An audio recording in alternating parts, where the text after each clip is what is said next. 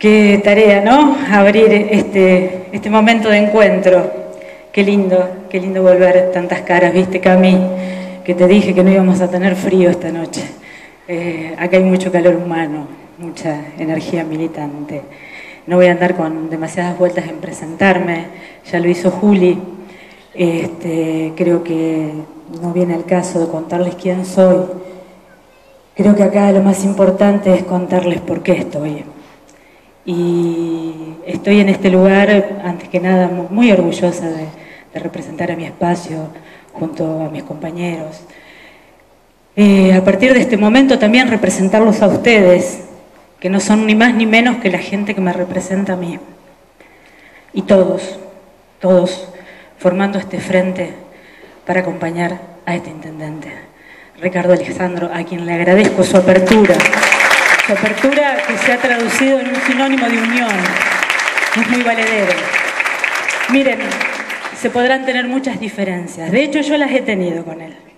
Este, pero soy una convencida que las diferencias engrandecen. Engrandecen y aún más cuando tenemos un mismo objetivo, un objetivo en común. ¿eh? De las diferencias, de dialogar, de charlar las diferencias, han surgido los mejores proyectos, se han limado las mejores ideas. Y eso, eso es lo que tenemos que, buscar, tenemos que dejar de mirarnos el ombligo, de, estar mirando siempre nuestras individualidades, no compañeros. Este es el momento de salir a la cancha con los botines de punta y patear, patear lo que sea. Entonces, ¿qué mejor que acompañar a este equipo?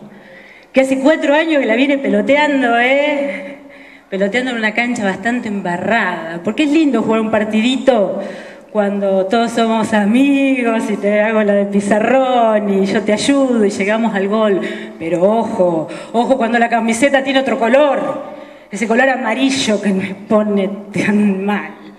En primer término, celebrar. Quiero celebrar esta unidad, a los gestores de la unidad, a quienes trabajaron mucho y se reunieron y pusieron toda su humildad y toda su grandeza para que hoy estemos todos juntos conformando este frente y estemos luchando para ir con una lista donde todos los frentes estén representados, donde todos los que pensamos igual, donde todos los que luchamos por la defensa de los trabajadores, por la defensa de todas las personas que salen todos los días a pelear el mango, a luchar para pagar la luz, para pagar el gas y para mandar a sus chicos a la escuela, en las mejores condiciones, bueno, a esos grandes que hicieron que podamos estar todos juntos, hoy hay que celebrarlo, hay que aplaudirlos, porque realmente fueron muy grandes y humildes.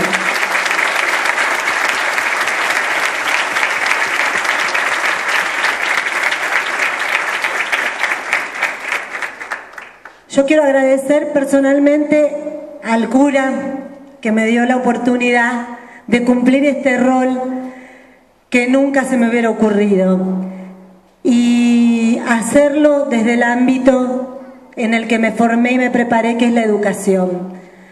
Estoy convencida de que hoy tenemos escuelas con muchas necesidades, de que trabajamos un montón, de que se hicieron un montón de obras, que hoy tenemos muchas escuelas que no se llueven, muchas escuelas que están mejores, con baños en condiciones, con obras que las vemos todos, todos los días.